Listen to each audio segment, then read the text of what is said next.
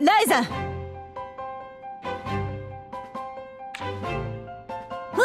アガーテ姉さん？ななんかやらかしたっけ？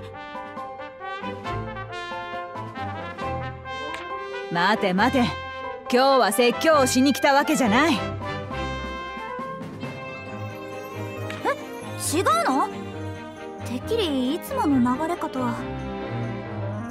でもお説教じゃないのなら一体何のよ？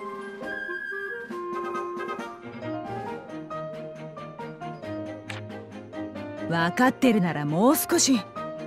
じゃない。お前に一つ頼みがあるんだ。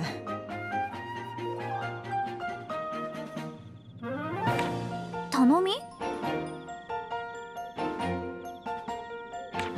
ああ私じゃなくて船着き場の漁師が直接話を聞いた方が早いか。一緒に来てくれ。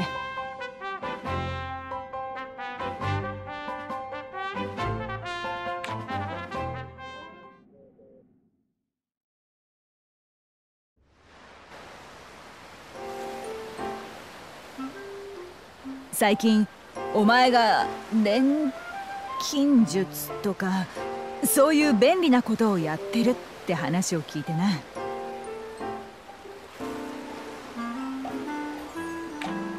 それで私に相談を？アガーテ姉さんにまで頼られるなんてちょっとは認められてきた？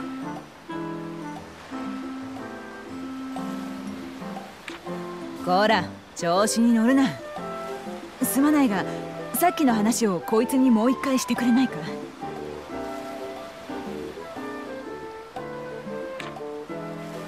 話してなんとかなるなら何度だって話すよ実は魚がちっとも取れなくなっちまったんだ。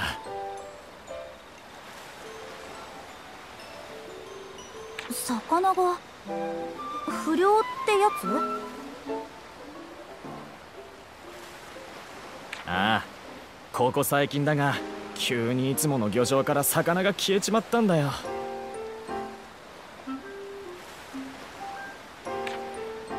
おじさんだけじゃなくて村の漁師さん全員取れなくなっちゃったの？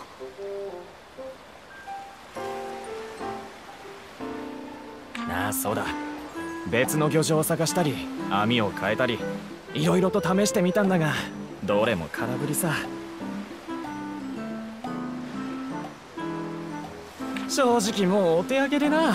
網元もうちのじいさんもこんなのは生まれて初めてだって言ってるよ。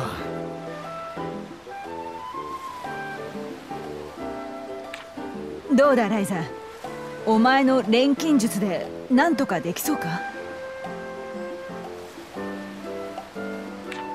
なんとかねえ。うん。私にできるとすれば強力な餌を作ることくらいかな。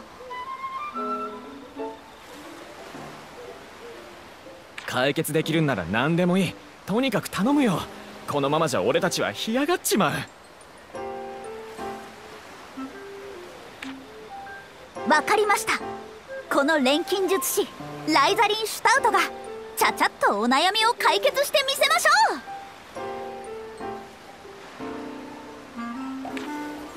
う。頼んでおいてなんだが本当に大丈夫か？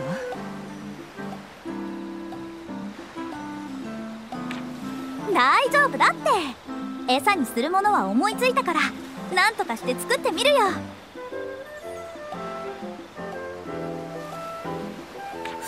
やったらうまくくっつけられないだろうけど錬金術を使えば多分。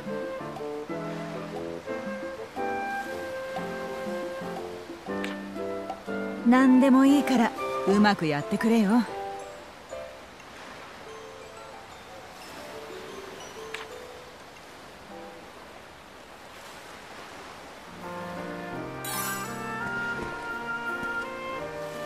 どうした？